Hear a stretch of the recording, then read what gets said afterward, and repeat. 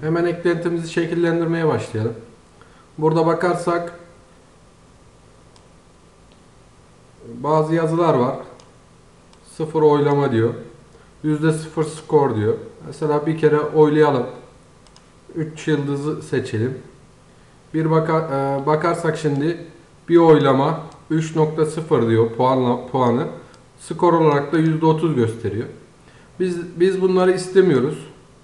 Temamıza bakarsak herhangi bir yazı yok. Sadece yıldızlar ve buradaki %73 lazım bize. Yani şu %30 skor kısmı. Hemen Dreamweaver'a gidelim. Dreamweaver'da VP Content'e girelim. VP Content'ten e, sonra Plugins. Plugins'ten Post Ratings'i açalım. Post Ratings'ten Post Ratings PHP'yi açalım. Hemen Post Ratings PHP dosyamıza bakalım. Biz bu e, yazıların nereden geldiğini bulmak için yine Firebug'dan yararlanalım. Firebug'a bakarsak div, met, e, div class meta diyor. Meta divinin içinde bunlar yer alıyormuş. Hemen bakalım. Post Ratings PHP'de Ctrl F ve meta diyelim.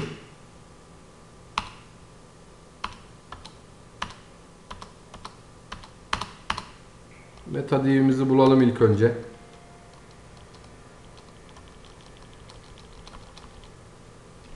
E, bakalım şuradan tekrar div class meta. Burayı kopyalayalım. Div class meta'yı kopyalayalım. Burada bulmadı. Hemen bakmaya devam edelim. Post Ratings Control PHP'yi açalım. Template'in içindeki Post Ratings Control PHP. Bakarsak div class meta post ratings control PHP'nin içindeymiş. Hemen buradaki bakarsak sadece bize skor lazım. Skora kadar olan kısmı silelim. Parantezi kalsın. Burada da aynı şekilde skora, skora kadar olan kısmı keselim. Silelim.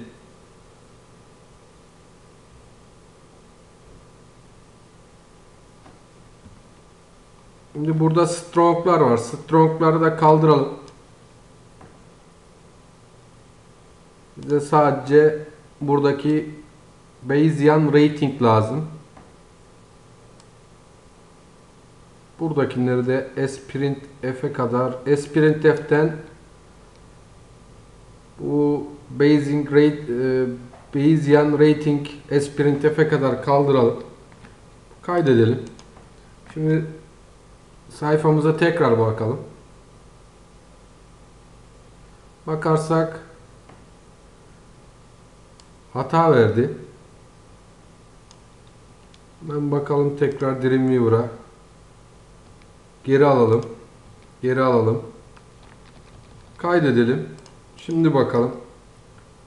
Bizim hatamız nereden kaynaklandı? Bakarsak şu an düzeldi. Herhangi bir sıkıntı yok.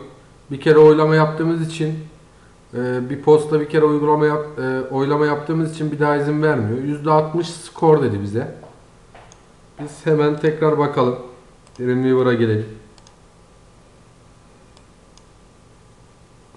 Burada skor diyor. Skoru istemiyoruz. Biz skor yazısı yazmasın. Burada da aynı şekilde skor yazısı yazmasın. Buradaki, buradaki iki tane yüzde var. Bu iki tane yüzdeyi biz başına alalım. Aynı şekilde buradaki iki yüzdeyi de başına alalım. Şimdi bakalım. Bakarsak %60 olarak şimdi temamıza uygun bir hale geldi. Şimdi bizim istediğimiz buydu. Bunu yaptıktan sonra bir dahaki derste CSS ile devam edelim.